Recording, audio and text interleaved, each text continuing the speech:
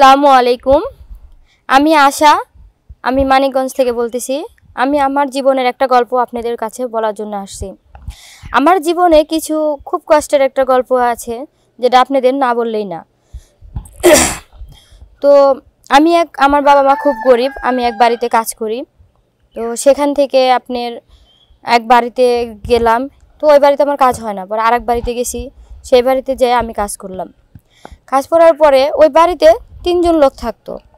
এক হয়েছে মানে ম্যাডাম ছাড় আর তার এক ছেলে থাকতো। তো সেই ছেলেটা মাঝে মাঝেই দেখতাম যে অনেকভাবে চেয়ে থাকতো অনেকভাবে কথা বলতো মানে ইঙ্গিত দিয়ে দিয়ে চলাফেরা করার চেষ্টা করতো। যখন ছাড় না থাকতো তখন আমার জিজ্ঞাসা করতো যে কিছু খাবা কি না মানে আমি তো ওই বাড়িতে গেছি আমার কাজের জন্য, আমার তো আর অন্য কিছু মাথার মধ্যে নাই। তো একদিন দুই দিন কোতে কোতে ভালো কিছু দিনই গেছে সময়টা। গেলেও আমাকে বলতিছে যে দেখো, তুমি আসা, তুমি তো এবার কাজ করতেছো অনেক দিন ধরে, তো তুমি এখন কাজ করতে হবে না, তুমি এখানে বসো। তখন বললাম যে, সাহেব কি জন্য এই কথাটা বলতেছেন? কয়, কথাটা বলতেছি এই কারণে যে তোমার ভালো লাগে তো, তুমি এখানে বসো, আমি হলো তোমাকে একটু দেখি। ঠিক আছে। তো সেই বিনিময়ে দেখা যাচ্ছে আমি ওনার সাথে বসলাম, গল্প করলাম, কথা বললাম। এভাবে দু একদিন কাটার পরে একদিন হঠাৎ করে সাহেব, বড় সাহেবও বাসায় নাই, ম্যাডামও বাসায় নাই। কিন্তু ছোট সাহেব হঠাৎ করেই আমারে ধরে বসল। সে এমনভাবে মানে জোর জাব্বস করা শুরু করেছে যে আমার সাথে খারাপ একটা ব্যবহার করা শুরু করল। তখন ওনার কাছে আমি অনেক হাতে পায়ে ধরলাম, অনুরোধ বিনোরোধ করলাম যে, স্যার, দেখেন, আমি কাজ করি, গরিব মানুষ, আমার এত বড় ক্ষতি করেন না। তো উনি তো কোনো কিছুই শুনলো না, কোনো বিষয়ে কোনো কিছু ভাবলোও না।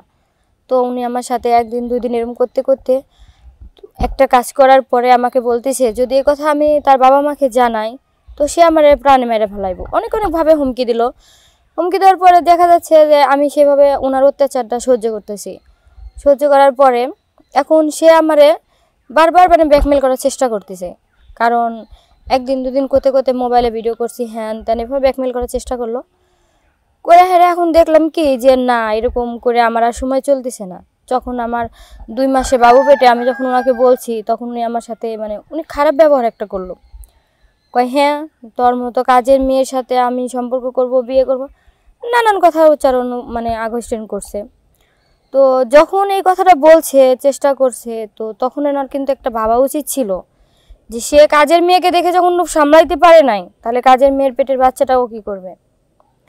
তখন আমাকে বলতেছে যে, আমি তোরা কিছু টাকা দিই, তুই এটা নিয়ে তোর গ্রামে চলে যা। আসলে আমি গ্রামে যাব কি? আমি তো এই অবস্থায় গ্রামে যাইতেও পারব না, কারণ আমার গ্রামে যাওয়া সম্ভব না।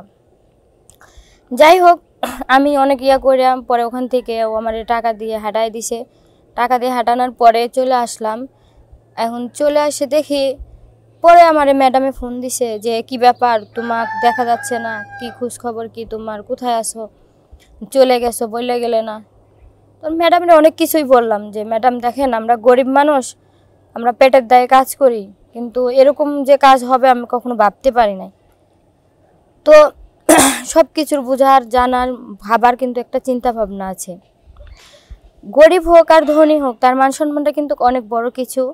সেই জন্য আপনাদের বলতেছি, কাজের দায়ে যারা, পেটের দায়ে যারা কাজ করতেছে আর কাজ করা চায় তাদেরকে সুযোগ দেওয়া ভালো। কিন্তু আপনারা মালিক হওয়ার পরেও যদি তাদের সাথে এরকম খারাপ ব্যবহার করেন, যেমন আমার সাথে যেরকম কাজটা করছে, এরকম যদি দশটা বাড়িতে এরকম কাজটা হয়, তো কোনো কাজের মেয়ে কাজ করতে চাইবে না। কারণ সবসময় এটা ভাববে যে বড় লোকেরা এরকমই চাল চালন হতে পারে, এরকমই স্বভাব হতে পারে, আচরণ হতে পারে, কোনো মেয়ে কিন্তু কাজে যেতে চাবে না। যে কোনো মেয়ে কেন, যে কোনো লোকই কেন সে তার বাড়িতে যাইতে অনেক ভয় পাবে। তো আপনাদের কাছে আমার একটাই রিকোয়েস্ট থাকবে, আপনারা কখনো এরকম কোনো কাজ করবেন না, যে কাজ করলে নিজের ওয়েট কমে যাবে, সম্মান কমে যাবে এবং মানুষের মান সম্মান কমে যাবে। আবার ভাববেন কখনো এরকমটাও করবেন না। কারণ আপনাদের কাছে এটা বোঝা উচিত ছিল যে আপনারাও মানুষ, সেও মানুষ। হয়তো সে পেটের দায়ে কাজ করতেছে, কিন্তু আপনারা পেটের দায়ে তাকে রাখছেন। টাকা দিয়েই রাখছেন, কিন্তু টাকার বিনিময়ে যদি আপনারা তার শরীর দিয়ে ভোগ করতে চান, সুযোগ সুবিধা চান, তাহলে তো হবে না। কারণ সেটা তার একটা সম্মান, একটা ইজ্জত, এটাকে আপনাকে আগে বুঝতে হবে। তো সব কিছুর বিনিময়ে যদি আপনারা বিবেচনা করে দেখেন, এখন এই মেয়েটা কি করবে? আমার গল্পটা, এই মেয়েটা কি করবে? যে বাচ্চাটা কি সে রাখবে? না বাচ্চাটা সে নষ্ট করবে? না সে সমাজে চলতে পারবে? নাকি সমাজ থেকে তাকে বের করে দিবে? আপনাদের কাছে আমার প্রশ্ন থাকল। প্রশ্নটার উত্তর অবশ্যই আপনারা আমাকে দিবেন। এবং আমার এই চ্যানেলটা সাবস্ক্রাইব করবেন, লাইক করবেন শেয়ার করবেন। সবাই ভালো থাকবেন, সুস্থ থাকবেন। আসসালামু আলাইকুম।